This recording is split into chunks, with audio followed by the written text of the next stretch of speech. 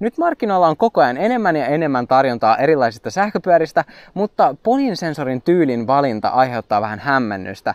Ja erityisesti nyt tämän kesän trendinä näissä Kiinan sähköpyörissäkin on lisääntyvissä määrin vääntösensoreita.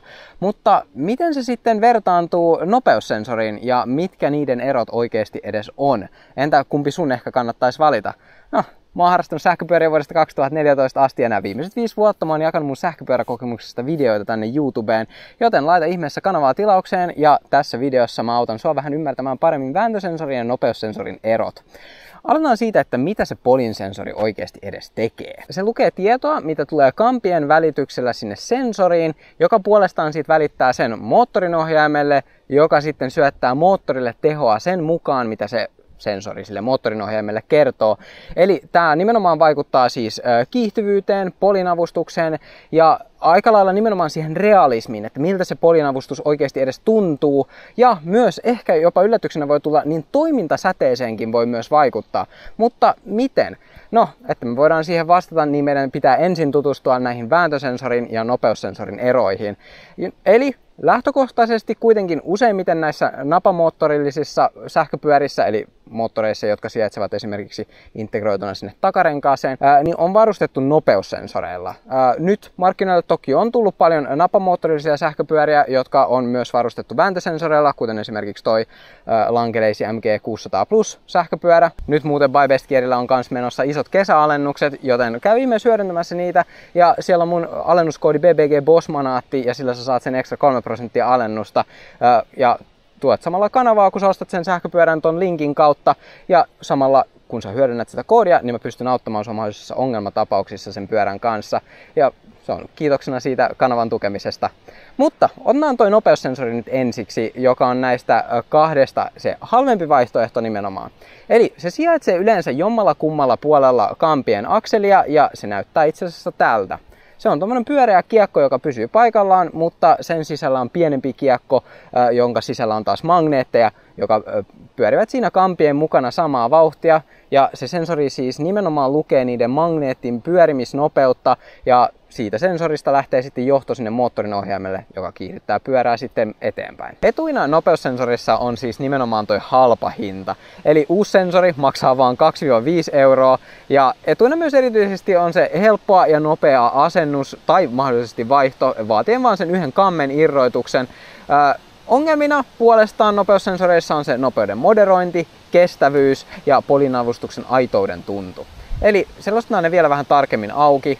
eli se nopeussensorin tarjoaa vaan semmoisen rajatun määrän avustusportaita. Ja jos sä asetat sen pyörästä vaikka sen suurimman avustustason silloin, kun sun pyörä on rajoitettu 25 kilometrin tunnissa, niin usein sen nopeussensori tarjoaa ehkä melkein enintään neljä erilaista avustusnopeutta itsessään, eli 25, 50 prosenttia, 75 prosenttia ja 100 prosenttia. Tämä siis tavallaan tuo esille sen nopeussensorin suurimman heikkouden, eli se ei varsinaisesti tarjoa semmoista avustustasoa oikeastaan ollenkaan, vaan pelkästään nopeuden säätöä, joka puolestaan voi aiheuttaa nimenomaan sitä, että se pyörä kiihtyy kovempaan nopeuteen, kun sulla oli ehkä tarkoitus oikeasti ajaa. Eli hitaasti ajaminen voi olla jokseenkin haastavaa, jos ei ole varsinkaan tottunut näihin aikaisemmin. Esimerkkinä nyt, että usein kuitenkin tämmöisissä Kiinan sähköpyörissä, jossa on nopeussensori, niin niissä on viisi avustustasoa, mitä voi nimenomaan säätää sieltä näytöstä. Ja ne myös toimii tavallaan semmoisena nopeusasetuksena, mikä siis tavallaan tarkoittaa, että kokonaisuudessaan sulla olisi mahdollista moderoida sitä nopeutta 20 eri nopeuteen periaatteessa, jos sulla siis on semmoinen nopeussensori, missä on itsessään neljä erilaista avustusnopeutta. Eli se polinavustuksen aitouden tuntu, niin koska se nopeussensori tarjoaa vaan niin kuin hyvin rajatun määrän sitä nopeuden säätöä, niin ei se tällöin tarjoa varsinaisesti niin kuin avustukseen sitä luonnollista tukea. Se vähän tuntuu, että se tekee sitä omaa juttuansa, mutta okei, sen kyllä oppii tuntemaan, kunhan sä ajat vaan sillä pyörällä, mutta se vaatii nimenomaan semmoista pientä totuttelua. Erityisesti näissä Kiinapyörissä sä voit usein kyllä säätää sieltä asetuksista, kuinka aggressiivinen se on ja vähän sitä viivettäkin, että miten se tulee, että se vähän niin kuin tavallaan sopii siihen käyttöön, mihin sä sitä pyörää sähköpyörää käytät ja tavallaan sun omiin tottumuksiin sopivaksi. Näissä sähköpyörissä, mitä mä oon täällä mun kanavalla esitellyt, niin useimmiten kyllä löytyy kaasukahva, joka sitten taas toimii puolestaan niin kuin hitaammissa nopeuksissa tosi hyvin ja nopeutta voi sitten silleen kanssa moderoida, että tavallaan kaupunkiolosuhteissakin se toimii sinänsä ihan hyvin. Mutta sitten on tuo kestävyys. Eli useimmiten vain ohuella muovikehukalla varustettu nopeussensori voi hajota, jumittua ja, tai se sensorin johto voi myös irrota, jos se saa vähän osumaan enemmän.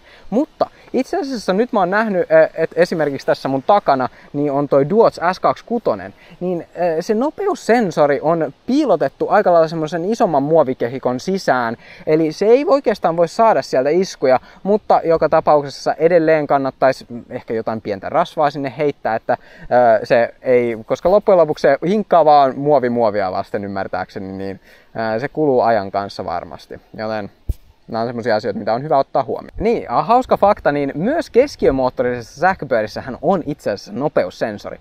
Se sijaitsee yleensä toisella puolella takahaarukkaa ja se näyttää semmoiselta pieneltä mustalta ulokkeelta ja pinnoihin on kiinnitetty magneetti, jota se sensori sitten lukee. Kertoen yleensä siis nimenomaan moottorille vaan sen takarenkaan pyörimisnopeuden. Ja joissakin sähköpyörissä itse asiassa sitä huippunopeutta voi nostaa tälleen. Eli siis magneettia siirtämällä e, esimerkiksi vaikka kampiin, jotka pyörivät hitaammin kuin se takarengas, täten huijaten sitä moottoria antamaan enemmän tehoa ja kiihtymään, kiihdyttämään sen pyörän yli 25 kilometrin tuntinopeuteen. Ja se kyllä yleensä vaatii sen, että se joudut myös siirtää sen sensorin myös siihen, että se pystyy lukemaan sitä magneettia, mikä siellä kammissa sitten olisi. Siirrytään nyt sitten tähän vääntösensoriin etuihin ja haasteisiin. Eli vääntösensoreita löytyy useimmiten keskiömoottorisesta pyöristä, kuten toi Enquetossa, tai sitten nykyään myös tästä Langereisi MG600 Plusasta ja ylipäätänsä lisääntyvissä määrin näistä napamoottorisistakin pyöristä. Mutta vääntösensori on useimmiten siis integroitu sinne kampien akselin sisään, eli sitä ei niin kuin näin pyörää silmäillen oikeastaan edes itse asiassa näe. Ja se vääntösensori nimenomaan siis mittaa, kuinka paljon voimaa sä sinne polkimiin laitat, josta se sensori siis välittää sen tiedon sinne moottorinohjaimelle, kiihdyttäen pyörää sitten sen mukaan. Tämä kokonaisuudessa nimenomaan tarjoaa usein sen lähes portaattoman avustustuntuman, eli sähkön voimaa tulee tasaisesti suhteessa suhteutettuna siihen avustustason voimakkuuteen ja nimenomaan siihen polkuvoimaan. Ja Tää luo siis sen tunteen, että sä saat supervoimat sun jalkoihin. Oikeasti se ensikokemus on ihan vertaansa vailla ää, ja siis se on niin, se on niin koukuttava oikeasti. Ää, ja se oli ylipäätänsä se ää, mä sanoisin, että se oli se alkuperäinen syy, että miksi mä kiinnostuin sähköpyöristä. ja musta tuntuu, että mä kyllä tuun varmasti muistaa sen tunteen ikuisesti, kun mä ekaa kertaa pääsin semmoista kokeilemaan. Koska toi vääntösensori siis on integroitu sinne kampien akselien sisään, niin äh, ne on yleensä hyvin pitkäikäisiä ja kestää tosi hyvin elementtejä, koska ne on siellä rungon sisällä suojassa. Ja vääntösensorilla varustettu sähköpyörällä on myös helppoa ajaa maastossakin. Se antaa juuri nimenomaan ne supervoimat sun jalkoihin, niin mahdollistaa niin merkittävästi jyrkempien ja ehkä haastaviempien maastojen kulun, mitä ehkä nimenomaan ilman sähköavustusta normaalilla pyörällä pystyisit ajamaan. Toki se luo ehkä välillä jopa vähän liikaakin itsevarmuutta ja voi viedä kuskin nimenomaan pyörällään paikkoihin, missä kuskin taidot voi vähän loppua kesken, joten vähän hillitkää myös sitä omaa egoanne sitten, kun olette tuolla maastossa ajelemassa. Ongelmina vääntösensoreissa puolestaan on sitten taas ne, että ne vaatii erikoistyökalun, jolla sä saat sen sitten irti, jos sellainen sitten hajoaa myös toi hinta on ylipäätänsä merkittävästi kalliimpi kuin nopeussensorissa, eli ne näyttäisi nyt liikkuvan tuossa noin 100 euron hintaluokassa. Ja sitten jos kyseessä on tämmöinen suljetun järjestelmän vääntösensori, eli esimerkiksi Bosch, Yamaha, Shimano, nämä kaikki muut, niin silloin sä joudut todennäköisesti viemään sen paikalliseen valtuutettuun korjaamon, joka puolestaan takuun ulko, ajan ulkopuolella voi kustantaa ihan hunajaa. Ja jopa pahimmassa tapauksessa se pitää lähettää tyyliin Saksaan korjattavaksi, joka voisi tarkoittaa teoriassa jopa yli kuukauden odotusta ilman pyörää. Mulle itse asiassa on käynyt itselle niin, mutta nämä on silti äärimmäisen epätodennäköistä, että tuommoinen menee rikki, mutta joka tapauksessa mulle itselle on henkilökohtaisesti tosi tärkeää, että mä voin aina itse korjata sen mun pyörän. Alussa mä mainitsinkin tuosta kiihtyvyydestä, niin miten nämä nyt sitten eroaa, kun sensorityyppi on erilainen? Eli kun on toi nopeussensorinen pyörä, niin sehän on tavallaan paljon helpommin äh, iskee ne täydet tehot päälle. Niin niissä voi tavallaan olla sit sen kautta nopeampi kiihtyvyys. Ja lisäksi tavallaan nopeussensorisissa pyörissä, kun on usein yleensä yli 250 watin moottorit, jopa 1000 watin moottoreita, jotka sitten tuottaa lähemmäs 1500 wattia jopa piikkitehoakin, niin sen avulla ne voi tosiaan kiihtyä paljon tehokkaammin, mutta Samaan aikaan tosiaan vääntösensorisessa pyörässä, kun se avustaa suhteessa nimenomaan siihen sun omaan polkuvoimaan, niin sinä plus sen pyörän tehot voitte yhdessä jopa tuottaa lähemmäs 1000 wattia piikkitehoa. Toki ei se nyt ihan samoissa on noiden muiden kanssa, mutta silti on se tosi paljon tehoa siitä kuitenkin tulee. Entä miten ihmeessä toi polinsensorin tyyli vaikuttaa sitten tuohon toimintasäteeseen? Eli vääntösensorinen versio, kun se toimii nimenomaan siihen äh, suhteessa sun omaan antamaan polkuvoimaan, niin sä pystyt hallitsemaan sitä paljon tehokkaammin, että äh, niin et milloin ja missä tilanteessa sitä sähköavustuksen voimaa oikeastaan tulee. Ja ilmeisemmin tämä ero voi olla jopa 15 prosenttia lisää toimintasädettä verrattain niin nopeussensorisiin pyöriin. Ja koska nopeussensorihan voi kovinkin herkästi antaa paljon avustusta ja tälleen kuluttaa tavallaan turhissa kohdissa kiihdyttelyyn sitä sähköä, koska sähkö ottaa, niin kuin sähköpyörät vetää tosi paljon virtaa, kun ne alkaa kiihdyttelemään, joten semmoinen kiihdyttely kuluttaa todella paljon sähköä loppujen lopuksi.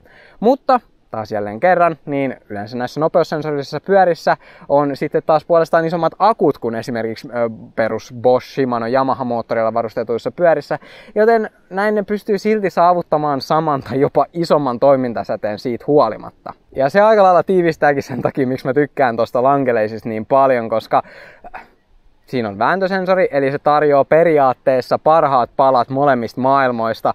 Realistinen polin tuntuma, paljon isompi akku ja tietenkin se halpa hinta.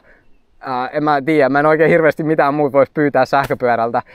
Eli tämmöiset erot siis on nopeussensorin ja vääntösensorin välillä.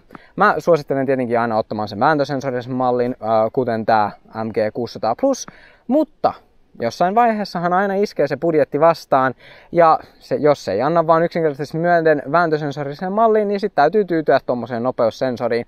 Mutta kun siihen tottuu, niin ei sekään mikään huono valinta siis missään nimessä ole. Et se vaan vaatii sen pienen totuttelun, että se, ehkä se alkukokemus voi olla vähän erikoinen, mutta sitten kun sä tajuut, että miten se avustaa, niin sitten se on, tulee ihan osaksi sitä peruspyöräilyä. Eli kunhan pääsee sähköpyörällä ajamaan, niin mun mielestä se on tärkeintä. Tällä näköjään alkaa sata. Öö, jätä kommenttia, jos sulla heräsi jotain kysyttävää. Mä vastailen niihin todella mielelläni. Eli ei muuta kuin mahtavaa päivänjatkoa sulle. Nähdään seuraavassa videossa. Moro! Täällä alkaa sata, oh my god! pa, pa, para, para, pa, pa, pa. Yeah, okei. Okay. Aurinkokypäistä. Oh my god, yes, let's go.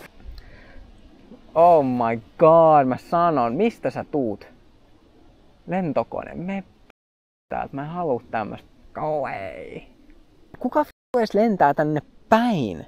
Niin, nythän ne varmaan kiertää aika itse asiassa monetkin lennot taitaa kiertää sieltä Pohjoisnavan kautta, kun öö, Venäjän ilmatila on kiinni. Niin, niin sitten ne lentää tavallaan pohjoiseen päin. Okei, okay, I see. Turhaa ränttää, turhaa ränttää. Venäjä, fuck you. öö, niin, siis joo. Oh my god se on Venäjän syy, että tää lentää lentokoneita, mä sanon. on se oikeesti. Äh, eihän ne muuten lentäisi täältä kautta. Mä muistan, että pitikö tänään sataa, tuolla vähän sadepilven näköisiä.